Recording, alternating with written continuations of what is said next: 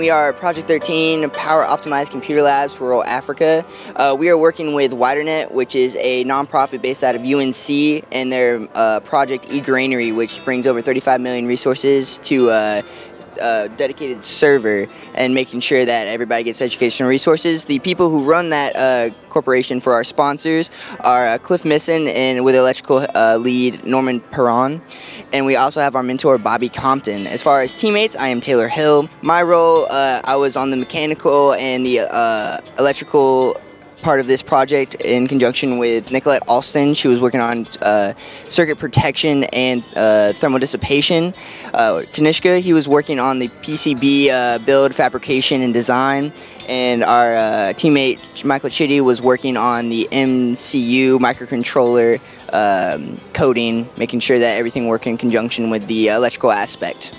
So when it comes to rural places like Africa where we want to bring these educational resources where they don't typically have a dedicated classroom, uh, the power is the main problem. You have a lot of uh, educational resources on the internet and on using tablets and such these days. Uh, the problem is that these classrooms do not get that dedicated power. So what our system does basically is it pulls power off the grid or utility, uh, what you plug into your wall when they need it to power uh, projectors, servers, tablets, phones, and and when it's not there, it uh, liplessly switches to a battery, making sure we don't have any power cut out at all, and uh, continuously powers the uh, classroom all day until the lesson's over. So let's say that there is power coming in and uh, it loses power, and it has to switch over to that battery. What would happen then is we're getting regulated grid power, or what's coming from your wall, converted to what we call direct current uh, into this system. Now, when the uh, grid power loses it, we have what these things called smart switches, which have capacitors which basically hold power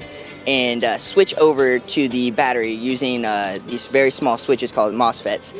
This switching is very fast, but to make sure there's no power dropout, we have uh, capacitors that hold that charge while it's switching, so no matter what, we're going to have power coming to the system and it's going to regulate it down to the battery, making sure that the battery is then providing power and letting there just be continuous class teaching no matter what.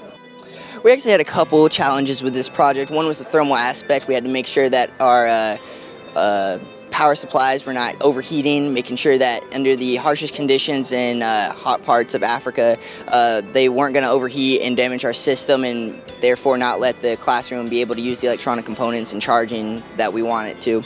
And so uh, we had to look at that aspect, attack it uh, for a cooling aspect, make sure that there was no uh, outside environmental things that got in there, making sure there wasn't dust or dirt that would affect our system, as well as the integration of our subsystems, making sure that our power supplies worked in conjunction with our switches, which worked with the brains of the microcontroller, making sure that that automation was there for an easy user uh, uh, applications and setup.